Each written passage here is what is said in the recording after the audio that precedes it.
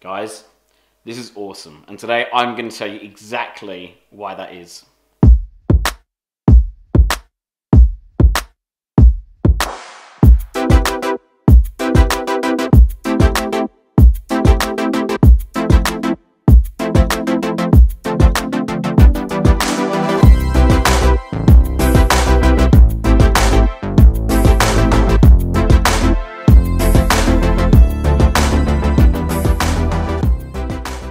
Today guys, I'm going to tell you why wedding albums matter, how to get one organized and created, how to even get your guests to fund your wedding album, and who I recommend for my wedding album suppliers. I'm going to tell you why wedding albums will make your memories more special as time goes on. Let me know in the comment section below if you love the idea of a wedding album and don't know where to start. And also stick around to the end guys because I've got a huge tip for you to tell you exactly how to get your wedding album funded by your guests. How amazing is that? Let's do this.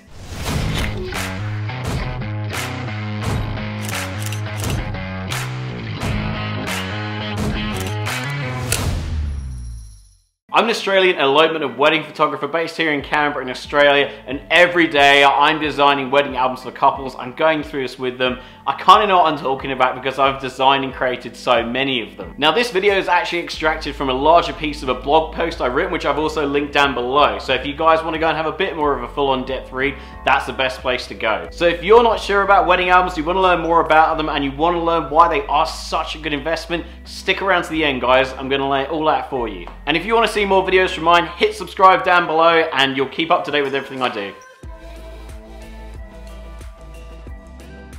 How are wedding photos usually delivered? Well, usually they're delivered within four to six weeks after your wedding, or at least they should be. Now they're sent to you in an online gallery. A lot of photographers these days will actually send you stuff in an online, really beautiful gallery.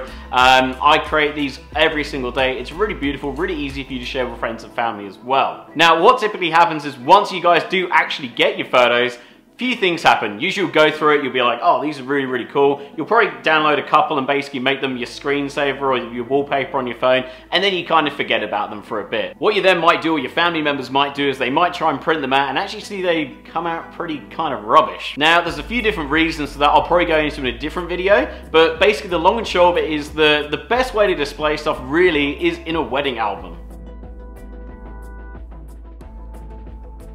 So the thing about digital photos is that whilst they're really, really great, photographs were never really meant to exist in, uh, on a screen. And the problem is that a lot of your photographs are actually gonna turn to digital dust pretty quickly. I think you can probably feel how it is when you take lots of photos on your phone and then you go back through and you're scrolling and thinking, wow, I didn't know I took like all these photos on here and you quickly forget about it and I just think that's a real shame for your wedding day. The really other big problem is that basically resolutions in screens are increasing so quickly. If you look back at standard kind of widescreen DVD back in the early 2000s, I think it was about 720 by about 400 pixels, which obviously nowadays sounds small when you've got 4K, but that's what it was like in the early 2000s. And now typically images will be delivered in a roughly about 4K um, resolution to you guys typically, but this is exponentially growing. And the whole problem is that while you know, you might have 4K today, think about in 20 years, we might be up to like 30K or beyond that. So your photos are just gonna look smaller and smaller as the time goes on. So, what is a typical wedding album like? Well, I've actually got one here which I'm gonna walk you guys through in a bit. But this is a really good example of a kind of traditional typical wedding album I create and they are so beautiful. So typically a wedding album is about 10 to 30 spreads long. Now a spread is basically two pages so 10 spreads is 20 pages and that's a really good length of a wedding album because wedding albums are meant to be more of a narrative. It's like when you go to the movies. You don't want to go and see an hour and a half film in four hours. It's meant to be a nice, concise view of everything and that's what I think good wedding album design is all about. It's not about just totally jamming every page with like 30 images because that doesn't really create a narrative. The great thing about wedding albums as well is that you can personalize them to your absolute taste. A lot of really good, high quality album makers will actually let you do this as well. So for example, you can have vintage leathers, vegan leathers even, canvas, lots lots of different color combinations to well suit the theme of your day. And the other really big thing as well goes back to this whole thing I was talking about with resolution of photos. The thing is, this is a 10 by 10 album, but here, for example, these photos are always gonna be this size. No matter how big the resolution, this is always gonna be a 10 by 10 inch album and it's always gonna look amazing. So when you're viewing on a screen in about 20 years and it's really small, it's not gonna be the same case here. It's gonna be really big, really bold, and really, really beautiful, guys. So what is the experience like of actually having a wedding album? Kind of why is it better to have this wedding album you can actually see and touch rather than this kind of set of stuff you can scroll through? So this is the big thing with having a wedding album. You sacrifice the convenience of having a phone just like this with all the images on it for the experience of actually having a wedding album of actually sitting down and feeling it and touching it and everything like that, you know, like it's something which is just getting so lost nowadays. You'll be able to sit down in 10, 15 years and actually open it together and look at it and be like, yeah, we did this. This is like, this is our life. You can feel it with your hands. Do you know what I mean? It's a real tangible thing. Whereas it, it, the problem with getting stuff online is that so often it's just lost there. It doesn't have any tangibility. And I think it's the perfect way of really honoring what your whole experience has been about. You know, you guys have gone on this adventure. You know, you've got this real physical heirloom, this book you guys can like look at and feel and pass down to future generations as well. So we're basically halfway through this video. I want to hear if this is making sense to you guys. Are you having a good time with this? Just type hell yes down below if you are. I'd love to hear what you're thinking so far. Um, and if I'm kind of convincing you guys to maybe look into getting a wedding album. Okay, so you guys are hopefully on board with the idea of a wedding album, and now you're probably thinking, well, how do we design it? How do we get one started? Well, the great news is that your professional photographer should be able to help you out with this people like me, for example, every day I'm making new albums for couples. I've got a little bit of an eye to kind of what works best. And yet again, the reason is to create a narrative, not this thing where you're just jamming it full of 100 images, where it kind of destroys the purpose of it. You know, a book is meant to have that really beautiful narrative in it, and that's what I do for my couples, so that you don't have to sit there thinking which photo is going to work where. Now, in terms of the design of your wedding album, you can have it in lots and lots of different formats, and it might vary between different photographers' choices. Personally, I love the square format of books. They're really, really beautiful. It's a really nice way to kind of open up. And this is a 10 by 10 inch album, which is my standard. And with this, when you open it out and spread it out, you actually get 20 inches of art piece, which is really, really nice.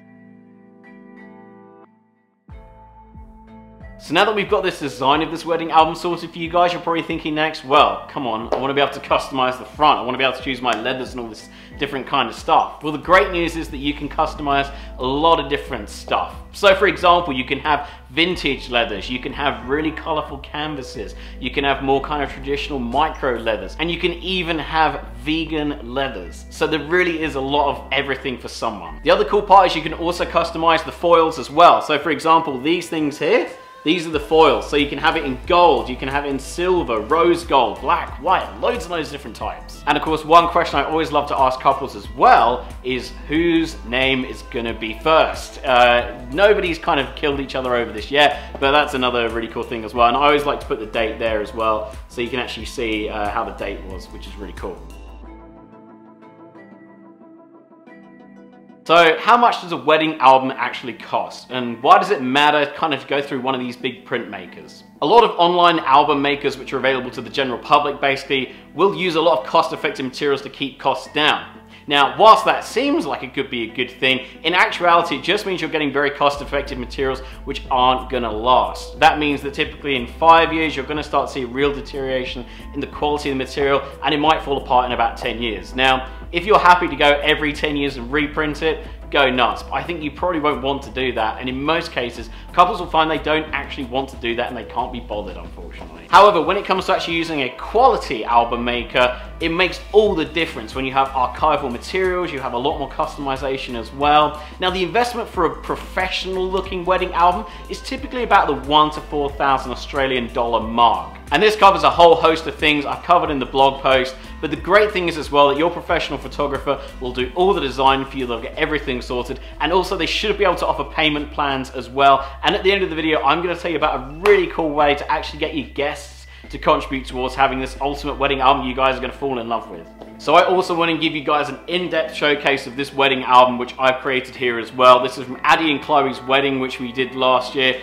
Really, really beautiful. Now, they came in the studio here, we sat down, had a really, really nice time. I designed the whole album with them. We went through everything and we ended up actually choosing, well, I didn't end up, they ended up choosing this really beautiful storm looking vintage um, kind of bluey look as well with gold foil as well to really accentuate everything and to really encapsulate their amazing wedding day. So who do I use and recommend when it comes to wedding albums? Well, I recommend Queensberry. Queensberry are a New Zealand workshop. They're fantastic. They've been set up ever since 1969 and I'm blown away by the work they do and what they've created for me as a photographer and my clients. Everything is made from archival grade materials. It's all hand assembled and they can even do a whole load of different customization, including this really exciting vegan leather as well, which I think can really help a lot of people who want to make a sustainable choice.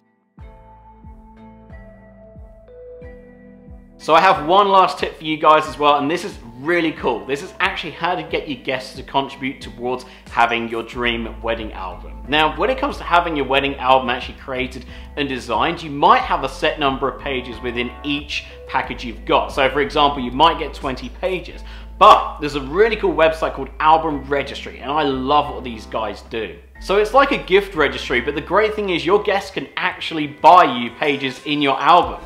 So if you've got a 20 page album and you really love the idea of getting a 50 page one, your guests can simply go online, log on, contribute whatever they want towards how many pages you want to get, and Bob's your uncle, you can get this in your final album design as well. I'll also play you guys a really good little clip from it as well with Celeste Barber in it of all people, so hopefully you can get a little bit of an idea of what it actually is all about.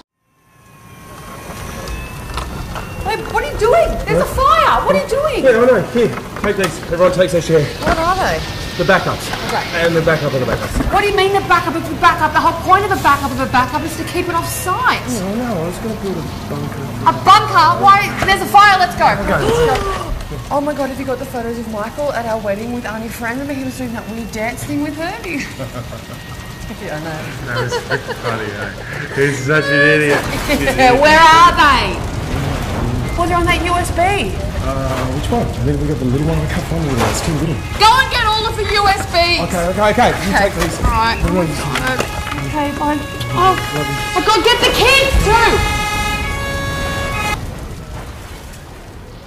Print your photos.